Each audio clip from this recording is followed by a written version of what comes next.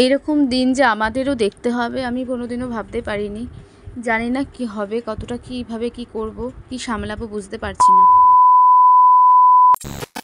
Hello বন্ধুরা, good morning, সবাইকে জানাই শুভ সকাল। তোমরা কেমন আছো? আশা করছি খুবই ভালো আছো সবাই। আর যে যেখান থেকে আমার ভিডিও দেখো সবাইকে আমার তরফ থেকে অনেক ভালোবাসা। আজকের ভ্লগটি বন্ধুরা এখান থেকে স্টার্ট করছি। সকালবেলা যা যা পর্ব, চা খাওয়া কমপ্লিট হয়ে গেছে, তোমাদের দাদাভাইকে রান্নাবান্না করে দিলাম, ও নিয়ে গেল, খেয়ে গেল সব কিছু করে দিলাম, গুছিয়ে গাছিয়ে। এখন বসে পড়েছে দুপুরে রান্নাবান্না জোগাড় করতে। তার মাঝে গেছিলাম একটু বোনের বাড়ি, সেই ভিডিওটা তোমাদের সাথে আমি শেয়ার করা হয়নি। কেননা বোনদের বাড়ি গেছিলাম লেবু পাতে দিতে। ও ডাল রান্না করবে, তাই লেবু পাতা চেয়েছিল। আমাদের পাশের বাড়ি গাছ আছে, সেটা তোমাদের দেখিয়েছি আগের ভিডিওতে। সেই লেবু পাতা দিয়ে ডাল ওদের বাড়ির সবাইও খুব ভালোবাসে রাজা মেন কথা, রাজা বেশি ভালোবাসে। তাই বোন ফোন করে বলল, দিদিভাই, একটু লেবু পাতা দিয়ে যা। না, সোনাকে পাঠিয়ে দিয়ে একটু লেবু পাতা দিয়ে। তাও আমার ছেলে যেতে চাইছে না, আমি গিয়েই দিয়ে আসলাম। আর এদিকে এখন মা বলল, তাহলে আজকে লাউ ঘন্ট কর, চিংড়ি মাছ দিয়ে। তাই জন্য আমি ভাবলাম যে, তাহলে লাউ ঘন্টটাই আজকে করি, দুটো লাউ রয়েছে, সেই লাউটা কাটছিলাম। আর লাউ কাটা হয়ে গেছে আমার, কিন্তু মা খোসাগুলো ফেলতে চায় না। সেই খোসাগুলো মা এখন কাটছে, ওই খোসাগুলো কালকে ভাজা হবে। আর এই দেখো, লাউ ঘন্ট রান্না করছি, আমি লাউটাকে একটু প্রেশার কুকারে ভাপিয়ে নিয়েছি, তারপরে আমি লাউটা রান্না করছি। এই দেখতেই পাচ্ছ। আর কড়াইটার কি অবস্থা? কড়াইটা কেন এরকম হয়েছে সেটাও তোমাদের সাথে শেয়ার করব। বন্ধুরা, দেখতে থাকো ভিডিওটি আর আমার সাথে থাকো, কেউ স্কিপ করে দেখো না। আর কি বলব, ভিডিওর যা অবস্থা হয়েছে, আমার ভিডিওতে প্রত্যেকটা ওয়াচ টাইম কেটে নিচ্ছে। আর এদিকে দেখো, ধনে পাতাটা আমি দেবো হচ্ছে লাউ ঘন্টতে। নামানোর আগে ধনে পাতা দিয়ে নামিয়ে দেবো। তো চলো, দেখতে থাকো আর সাথে থাকো বন্ধুরা। আর আমার যে কী অভ্যেস, আমি না বসে বসে রান্না করতে পারি না বা দাঁড়িয়ে দাঁড়িয়েও একভাবে রান্না করতে পারি না। আমি একবার দৌড়ে এইদিকে যাব, ওদিকে যাব মানে লাফিয়ে লাফিয়ে রান্না করে বেড়াই। তা এখন যাচ্ছি বারান্দার দিকে। চলো দেখি মা কী করছে। আর মাকে দেখতে যাওয়ার সাথে সাথে দেখছি আমার ঠাম্মা বসে বসে খুব কাজকর্ম করছে। কি করবে? ওনার তো আর এদিক ওদিক চলাফেরার ক্ষমতা নেই। উনি চোদ্দ বছর ধরে এরকম বিছানায় পড়ে রয়েছে।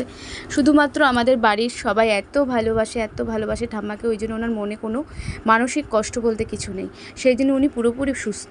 সুস্থ কিন্তু একটাই দুঃখ ওনার যে উনি নিজেরটা নিজে কিচ্ছুই করতে পারে না ওঠা বসা করতে পারে, শুধু এটুকুই মানে শুয়ে থাকলে উঠে বসে এটুকুই। ওনার ডান সাইডটা পুরো প্যারালাইসিস শুধু বাস সাইডটাই কাজ করে, তাও হাঁটতে পারে না। অনেক ফিজিওথেরাপি করানো হয়েছে যখন উনি অসুস্থ হয়ে পড়েছিল। কিন্তু ফিজিওথেরাপির লোকটা বলেই দিয়েছে, উনি কোনো সময় আর দাঁড়াতে পারবে না কোনো দিনও পারবে না, আপনারা শুধু শুধু বেকার খাটছেন। তাই জন্য সেটা ছাড়িয়ে দেওয়া হয়েছিল, কেননা উনি ঠিক হবে না, ওনাকে বলেই দেওয়া হয়েছিল।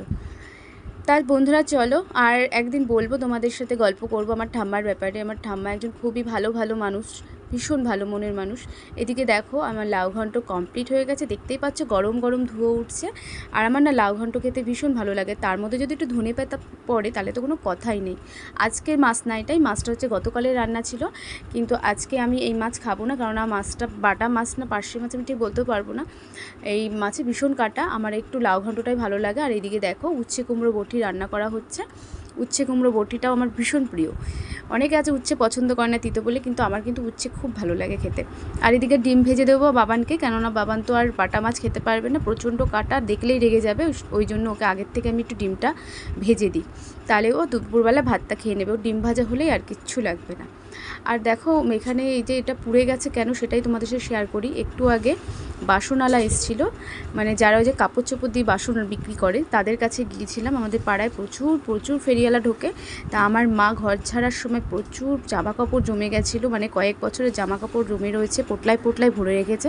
সেইগুলোকে আমি কি করেছি, এক জায়গায় রেখে দিয়েছি। ভেবেছি একদিনকে যদি বাসনওয়ালার কাছ থেকে কিছু বাসন কোসন বা বালতি ঠালতি রাখতে পারি রেখে দেবো। তাহলে জামা কাপড়গুলো ঘরের থেকে বেরিয়ে যাবে। আর জামা কাপড় টোপলা টুপলিগুলো যদি ঘরে এদিক ওদিক ফেলানো থাকে না বিরক্ত লাগে দেখতে তার মধ্যে ইঁদুরের বাসা হয়। আর প্রচণ্ড পরিমাণে ইঁদুরও হয়েছে ঘরে ছোট্ট ছোট্ট ইঁদুর হয়েছে ঘরে মানে প্রচণ্ড জ্বালাচ্ছে ইঁদুরে তাই জন্য ওটাই দেখতে গিয়ে অনেক টাইম আমি বাইরে কাটিয়ে ফেলেছি। আর এদিকে আমার কড়াইটা গ্যাসে বসানো ছিল কড়াইটা দেখো পুরো পুড়ে গেছে। এই লেবুগুলো কে এনেছে বাপি? সাদা সাদা লেবু?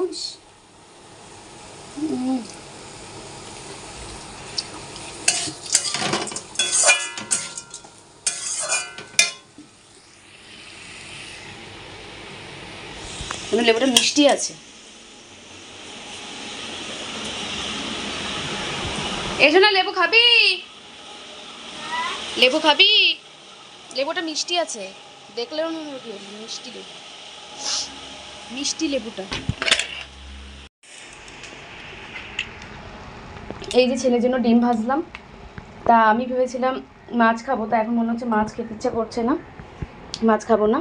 আমিও ডিম ভাজা নিয়েছি। দেখো, আমার নিজের জন্য ভাত বেড়ে নিয়েছি। আর এই যে লাউ ঘন্ট দিয়ে খাবার ডিম ভাজা দিয়ে খাবার কিচ্ছু না। ছেলেকে বললাম, খেতেও বলল, এখন খাবে না। তাহলে আমি খেয়ে নিই, ওকে পরে খাইয়ে দেবো। কারণ ও লেবু খাচ্ছে, বাতাবি লেবু মা ছাড়িয়ে দিল, সেই লেবুটা খাচ্ছে। সেই লক্ষ্মী পুজোর লেবু মানে ফ্রিজে পড়ছিল। না, মা না ছাড়িয়ে দিলে ছাড়ানো হতো না। তাই মা ছাড়িয়ে দিল, এখন ওটা খাচ্ছে। মিষ্টি ছিল লেবুটা, তোমাদের তো দেখালাম। সাদা সাদা ছিল লেবুটা, কিন্তু মিষ্টি ছিল খুব। তা এখন ছেলেটা ঢেকে রাখি পরে খাইয়ে দেবো। আর আমি এখন একটু খেয়ে নিই। চলো বন্ধুরা দেখতে থাকো ভিডিওটি সাথে থাকো। 2,000 years later. দুপুরবেলায় খাওয়া দাওয়ার পরে ফোন ঘাটতে ঘাটতে ভিডিও এডিট করতে করতে ঘুমিয়ে পড়েছিলাম। ছেলেটা তো একটু ঘুমাতে চায় না দুপুরবেলায়। কি করব, ঘুম পাড়াতেই পারি না। ও ওর মতন থাকে। একটু সাইকেল চালা বিকেলবেলাটা। তারপরে তো আমাকে এসে ডাক দিয়েছে, মা ওঠো ওঠো আমি উঠেছি মোটামুটি ছটারও পরে তারপর ওকে নিয়ে একটু বেরিয়ে পড়লাম। পাশেই দোকান আছে। সেখান থেকে একটুখানি ওকে মোমো খাওয়ালাম। তারপর ওখান থেকে যাওয়ার পথে হচ্ছে বোনের বাড়ি পড়ে। সেখান থেকে একটু মামামের সাথে দেখা করে আসলাম। আর মাম্মাম দেখো কি বায়না করছে। আমাদেরকে কিছুতেই বাড়ি থেকে যেতে দেবে না। ও আমাদের সাথে আসবে। শুধু কান্না করছে। দেখো ওর মা ওকে ধরে রাখতে পারছে না। ভীষণ চিল্লে চিল্লে কাঁদছে। তা কী করব? আমরা তো এখন বাড়ি যাব বাড়ি গিয়ে মাম্মামকে রেখেই যেতে হবে কিছু করার নেই কেননা রাত্রিবেলায় নিয়ে যাব না এখন ঠান্ডা ঠান্ডা ওয়েদার বাইরে। আর এখন বাড়ি গিয়ে মা আর বাপিকে ডেকে তুলবো ওরা মনে হয় ঘুমোচ্ছে আর বাপি যেহেতু ভোরবেলায় উঠে ডিউটিতে যায় সেই জন্য বাপি একটু তাড়াতাড়ি উঠতে পারে না আটটা নটা বেজে যায় ঘুম থেকে উঠতে সন্ধ্যাবেলায় আর গিয়ে চা করব। চলো ভিডিওটির সাথে থাকো বন্ধুরা আর দেখতে থাকো। চল চল। হয়ে গেছে।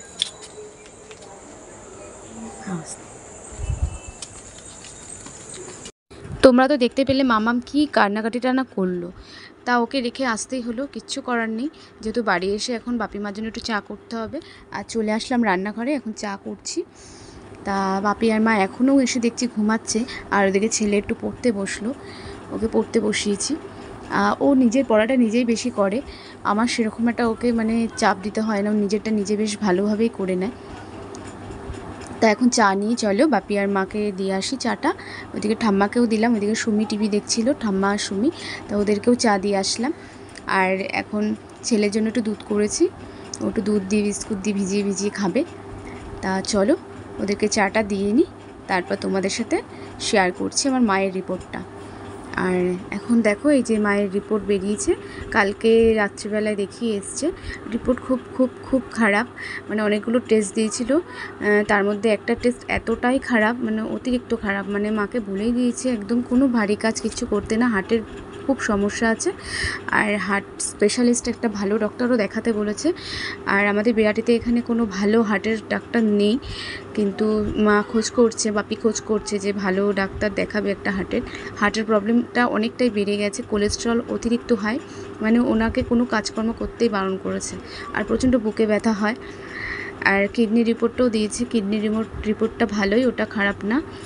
খুব টেনশানে ছিলাম। মানে কদিন ধরে সত্যি কথা বলতে খুবই টেনশান ছিল মনে মনে যে কী রিপোর্টটা আসবে, কীরকম কী আসবে তা মোটামুটি সব রিপোর্ট ভালো, কিন্তু এই হার্টের রিপোর্টটা প্রচণ্ড, প্রচণ্ডই খারাপ, অনেকটাই খারাপ। আর এখন এই ওষুধগুলো হোয়াটসঅ্যাপে বোনকে পাঠালাম ছবিটা তুলে। বোন অর্ডার করে দেবে, অনেক ওষুধ খেতে হয় মাকে।